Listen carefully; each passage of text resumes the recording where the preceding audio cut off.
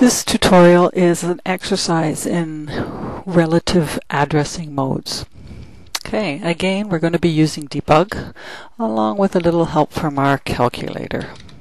Okay, so in debug, I am going to again insert some instructions.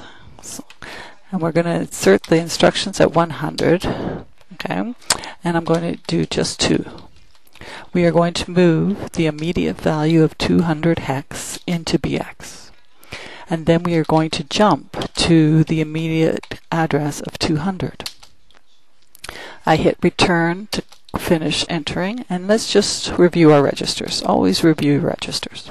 Okay, my IP is 100, and that's why I inserted my code at cs colon 100.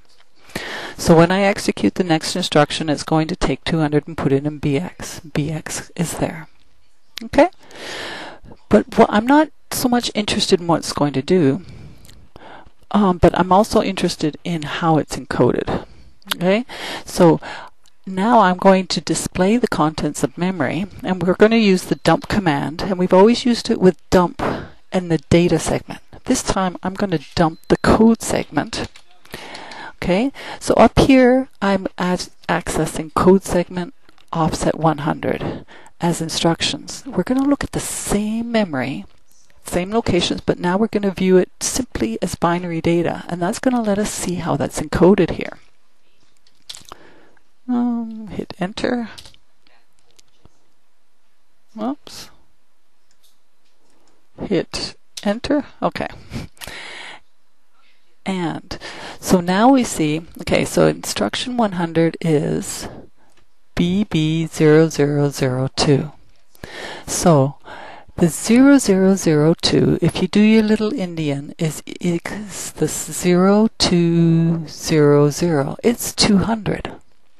So the first three bytes are BB, that's the opcode, and over here is 0200.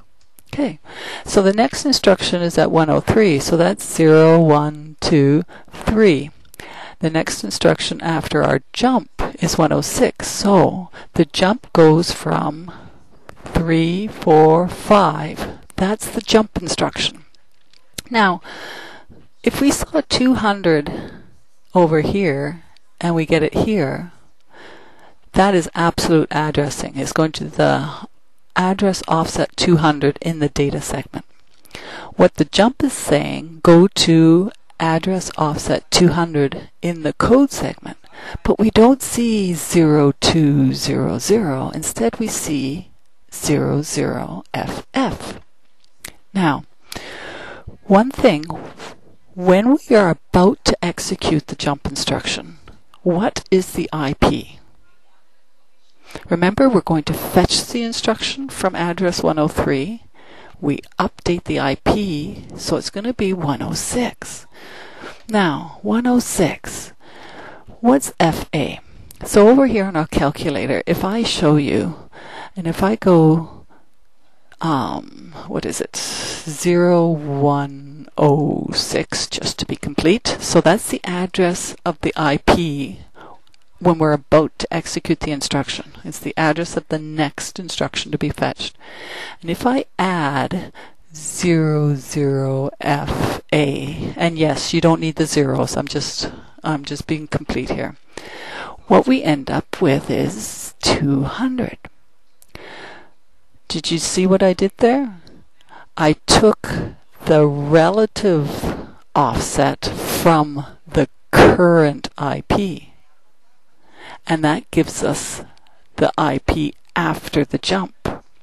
So we want to go to address 200, but the way that it's done in relative addressing is you take the next instruction to be fetched, you add the delta, and that's where you get your final destination. Okay, so remember again, it's it's 106 is the address of the next instruction plus FA, and that will give you where you actually go. So let's just execute our code to confirm that. So we're about to execute the first instruction, so afterwards BX is going to contain 200. BX contains 200. Our IP is 103. We are now going to execute this. The only thing that will change in this instruction, the purpose of a jump instruction, is to change the IP. We want it to get to 200. So what inside of the CPU, is going to fetch the instruction. The IP is going to up, internally update to 106. It will add the offset of FA and magically the IP is updated to 200 because the purpose of a jump instruction is simply to change the IP to a new value. All the other registers are the same. So that's relative addressing in jump instructions. Thank you.